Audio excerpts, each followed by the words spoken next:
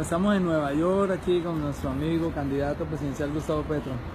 ¿Qué le dice este monumento, Gustavo? Bueno, nos alistamos al debate presidencial con los estudiantes colombianos en la Universidad de Columbia. Estamos en la Amsterdam con 66 Street, Manhattan ya. Nos llamó la atención este, este, este aviso. Venga, miramos.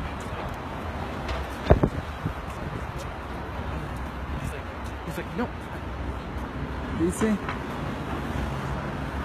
más o menos, ¿qué se traduce? Es Martin Luther King, un homenaje a Martin Luther King, que nos muestra una frase de él en tres niveles. Es absolutamente indispensable tener las necesidades materiales satisfechas, alimentación, las, la habitación, las condiciones que en Colombia llevan a casi 40% de la población a una insatisfacción por la pobreza.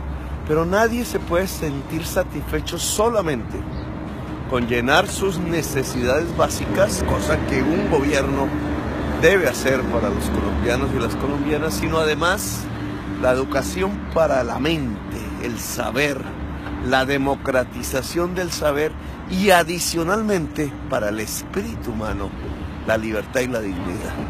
Esa es la frase de Martin Luther King, así que colombianos deberíamos comprender que un proyecto político que satisfaga a la mayoría de los colombianos debe llenar las necesidades básicas de la población, mantener la idea de intensificar la educación para satisfacer la mente y la dignidad y la libertad en la cual el espíritu humano nunca se sentirá satisfecho.